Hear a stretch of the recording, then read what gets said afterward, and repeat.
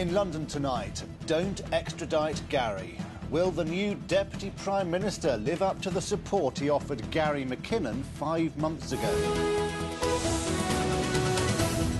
Good evening to you. I'm Ben Scotchbrook. Don't extradite Gary McKinnon to the United States. Try him here.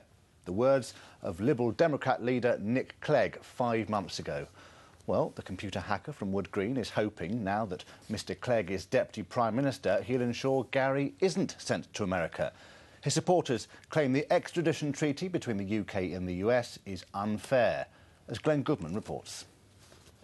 Janis Sharp is a lifelong Labour supporter who was overjoyed to see a new Tory Lib Dem government. Now, that's not as contradictory as it seems when you consider that the Tories and Lib Dems may be her only hope of saving her son Gary from up to 70 years in prison. I could not believe that Labour have eroded so many civil liberties, have actually basically sold out their own people with this treaty, uh, whereas no one needs any evidence to extradite a British citizen.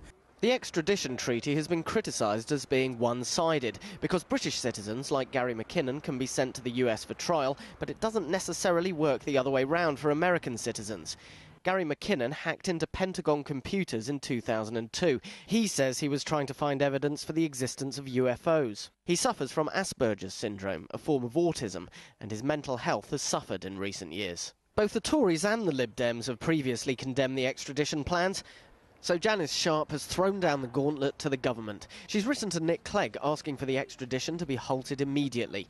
Mr Clegg actually used to campaign on behalf of Gary McKinnon. I think it's just wrong. I think it is morally wrong to send a vulnerable young man to trial and imprisonment in the United States when he could be tried here. Don't extradite Gary McKinnon to the United States. Try him here instead.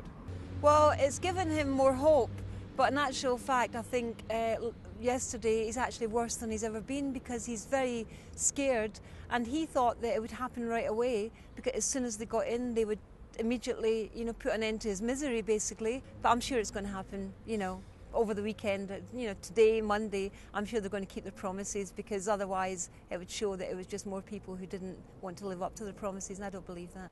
Glenn Goodman, London Tonight.